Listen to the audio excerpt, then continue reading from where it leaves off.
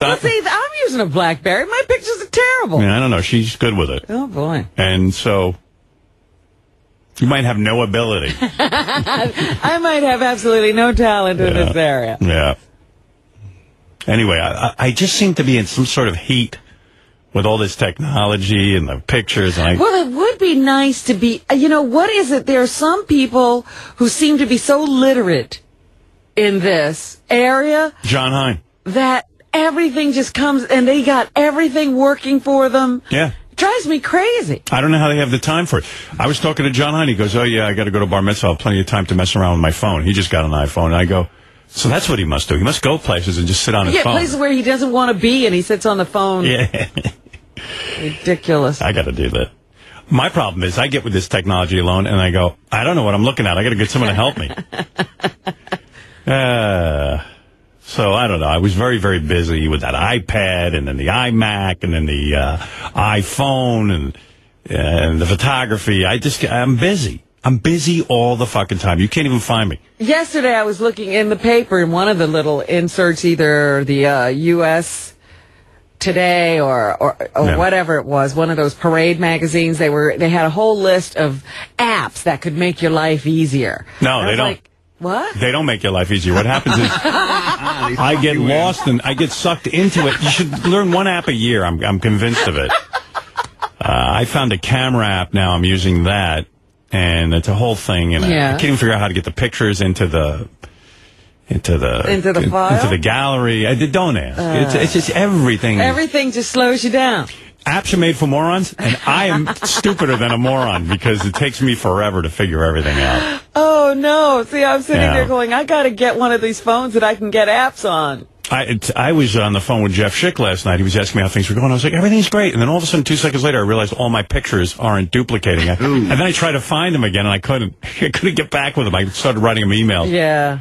I, I need him 24 hours a day. Well, that's need, another thing that's happening to me. Hmm. Emails are disappearing nah, that I need. you're fine. You know what? You don't need those emails. I do. I need to answer them. no, you, you don't. You get away with that. I don't. Uh, that's another thing with the email. I'm too involved with it. I know some people don't check their email for days. I'm on it every 10 minutes. Well, I'm not every 10 minutes, but I do check it rather frequently. Yeah. And um, I there was this one that, you know, sometimes people write these really long emails. Yeah, oh, that's And at Throw the it out. time that I'm reading the email, I don't have time to read all the way through it. Right. So I close it so I can come back later, and then sometimes I can't ever find them again. Mark it as unread. Yeah. That's your answer. Then you'll, it'll have a dot next to it. Now You'll do it. you are you're another step. No, that's easy. I'll teach you how to do that. That that I can do. I know how to do that, but I just, why doesn't it just stay there? It does. It stays there, but it's not marked, so you don't find it. But You- I then go do a search, and I, I guess I can't remember how these people, right, right. What their email address is. Yeah. Uh, who gives a fuck? you know what I mean? Felt so bad because this one particular person she wrote me this poignant email, and it seems like I just totally ignored it. Yeah, well, you know what? It's not your problem because who can keep track of all this shit?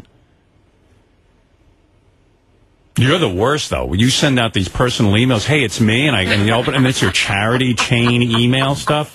Everyone complains to me about it privately. Oh my god! People are totally fed up with you. Uh, here we hey, go. it's me. again. Or, or like, Robin, I need I need to tell you about something. So I go, oh, Robin rarely writes me. Uh, uh, let see what this then it's is. when I laugh at those. They come to me too. Well, that ain't cool. I'm like, what am I saying to myself? People don't like it.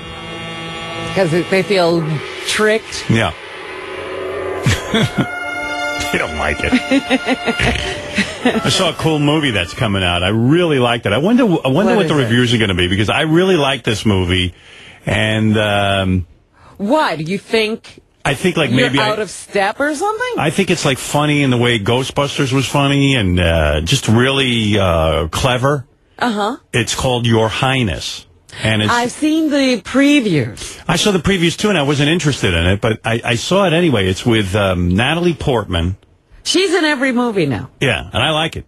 Because she's in a thong in one scene and her ass. Oh, yeah? I think it's her, unless he's a body double. And I mean, I never know. But Well, it's, she had just worked out for Black Swan. She's probably using, taking advantage yeah, of, you know. She looked good. James Franco and this guy who steals the movie, he's a dark haired guy with a beard. I don't know his name. He's in Eastbound and Down. Danny McBride. Is Dan- that his name? He's funny. Danny McBride. He's a really funny guy, Howard. How do you know him?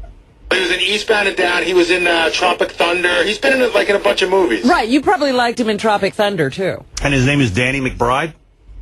Yes. He's really good. Yeah. Show- the show on HBO, he does Eastbound and Down. He's like a, a baseball pitcher who's retired because, you know, he's like in his Yeah. 30s. And he's just a degenerate, you know, gambler. And He's just fucking great. He, it's a funny show. I started watching it this season, last season, and it's really. I know funny. that show. I, yeah. I, I tried watching it. I didn't like it. It's just, but he's it, baseball has nothing to do with it. It's all about his life, sort of Right. off the field.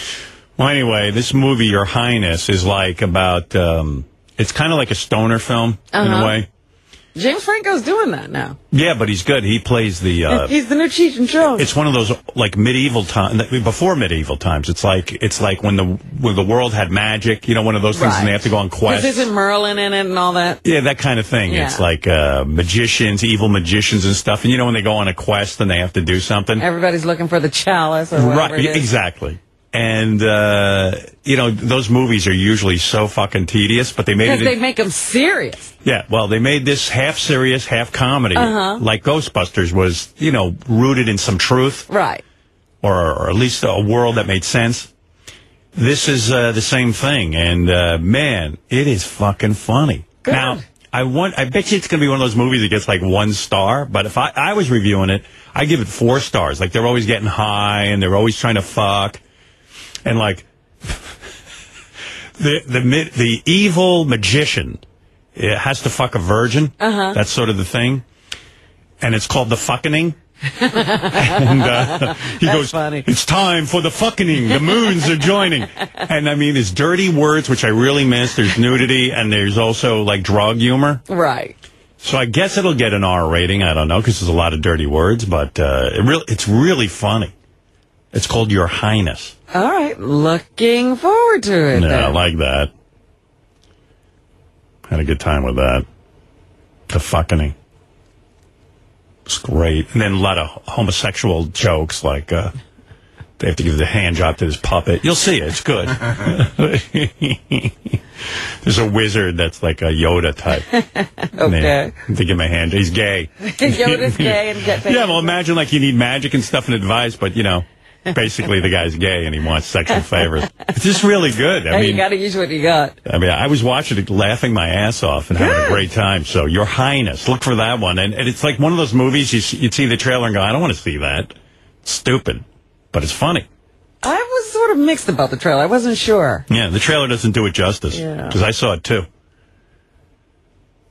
Then I've tried to tweet this weekend. I can't get into Twitter for now. I, I'll get back to it, but I just haven't been able to get into it. Yeah, I haven't tweeted in a while. I just figured out something I want to tweet. So People have started complaining about my tweets where they go, "Hey man, are you just going to answer stupid questions or are you going to say something funny?" Uh, yeah, They seem to want something like, you know, like what your Steve original thoughts. Yeah, like what Steve Martin does or Yeah. Sarah Silverman does, where they write witty one line in whatever, how many characters, 170 characters or whatever it is. 140. 140. Yeah, I once tweeted something that was funny, and they were like, "Wow, finally!" Yeah, right. So I, I didn't know that there were rules. Like, I thought it would be nice. There aren't any rules, but for you, people have expectations, I suppose. Like, Alyssa Milano seems to just retweet news stories. She doesn't seem to write anything. else. She's like Mm-hmm. I don't know that anybody's complaining about her. No, and I don't think she cares. But she's like CNN. She's turning into CNN. She just, uh, Yeah, she has her issues and concerns, and Yeah. she wants everybody to know.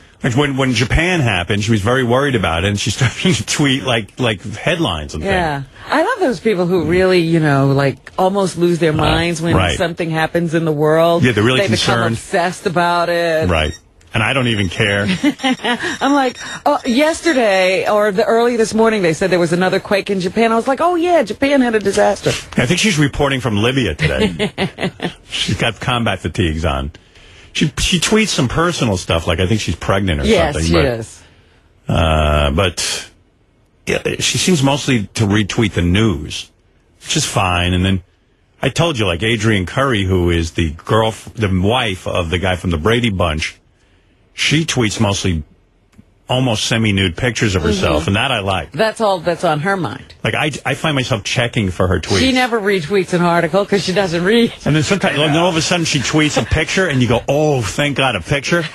And then it's like she took a picture of her bowling score or something. Just, it's some kind of computer screen. I don't even know what the fuck she's writing about. Right. Like I don't follow everything that she's writing, but I'm just waiting for pictures. There's some way to go see her whole catalog of pictures, but I don't know. I haven't figured out how to do that. I've tried, believe me. See, again, a waste Yeah. of time. What? Looking at her pictures? No, it's not. Yes, it is a waste of time. No. Just, you know, get it on the fly. I hate that when that's Facebook. Go to Facebook if you want that. No. I don't want, listen, don't tell me what I want. and, uh, I don't know. I just, and then like Steve Martin's so brilliant, you know. I watched him on Letterman. He was so good. Really? Yeah, he was phenomenal. And then, uh, you know, he tweets these really witty things and I don't Yeah, know. but not often. You know, he's just on there every once in a while. a couple times a day. He likes it. But I'm just saying, it's a couple of times a day. It's not every 20 minutes. Hmm. Right. But to me, it's like sometimes I want to just say, hey, you know, we're going to be doing this on the show. And then I get yelled at because people go, well, stop trying to do a commercial. We already know. We're already fans, Howard. You Fuck you. I went, oh, I didn't realize I was doing the wrong thing. Like, I'm, Again, you think it's the wrong thing. Yeah. You got to do what you want to do. no. No, I'm not good. I get yelled at too much. Everything I do is wrong. I told you one woman said, "Don't you ever don't you ever tweet anything funny? You just answer you just answer people's questions." I thought that's what it was for to communicate with fans. I don't know. People ask me questions about what I'm using for Sure. computer, for photography. They ask me about the show. I answer their questions. Albert Brooks joined Twitter yesterday. I saw that on Ralph. Oh, yeah? Yeah, and he's already uh, tweeting one-liners. you know, he's he's got a whole package. He's probably got a closet full. Right. They've just been waiting for an outlet. I follow Bubba, but he mostly tweets about BTLS radio and his products. Right. It's just a, Commercial. a promotional thing for him. Yeah. And a uh-huh. lot of people use it that way. Maybe people are yelling at him too. You're not looking at his comments. I don't think he cares. But he seems to just be involved with products. So I'm like, hey, good for him. You know, I mean, he's using it for what he wants to use it for. And that's what you should do. Nah. Don't let people influence you. Well, anyway, it's turned me off, so I've like kind of calmed down with it. But I'll get back into it. I know me. When I have some time, I'll start tweeting again. I'm wondering if I should say what I want to tweet now since I didn't ever tweet it. What was it? Oh, I thought you said you did. No, I thought of it. I was like, oh, I ought to tweet. My favorite comment that I read about Elizabeth Taylor this weekend was that on some movie set, they wanted her character to pretend to make breakfast, and they handed her two eggs, and she looked at them and said, well, what do I do with these? She'd never cooked? She had never cooked breakfast in her life. She didn't know what to do with eggs when they were in the shell. You are kidding me. No, I'm not kidding. I said, that is the best. What a fucking idiot.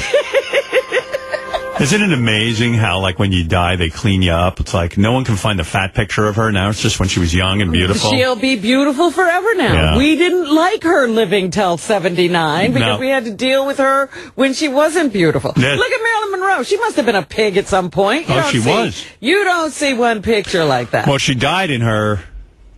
She died young, but 30 something. yeah, but she had a bit of fat on her. She was getting a belly Yeah, was- and she couldn't hold it together. She went out at the right time. Yeah. Yep. Look at Elvis. Do you see the fat Elvis? Now? No. It's beautiful Elvis. You never see fat Elvis anymore. They're picking the the look for Michael Jackson now. We'll never see the guy who who morphed into a clown. right. Yeah. Yeah, anyway. So what else did I do? I don't know. I was just busy. Busy with all my technology. Well, I was thinking about getting yelled at in the email. a camera. Oh. You've got me thinking maybe I should take up photography. You seem to, uh, you seem to go wrong when you follow me because, but, which makes me nervous because then you blame me, but I think you should too. I think you'll like it. And I can give you some pointers on what to get. I wonder though, because I one of the things was I got into photography years ago when there was film, and I even Nah, you actually. Uh, you That's know, too complicated. developed some of my pictures, had them framed, had them hanging in my house and stuff like that. yeah, you don't want to be involved in that. Not that film. But then I had tons of film that I never ever even got developed. Yeah, that film was a pain in the ass. Yeah. Remember, you needed film to shoot indoors and film to shoot outdoors. Right. Remember that? Oh, absolutely. was and annoying. then what was really awful about it was you could shoot all that crap and film was expensive.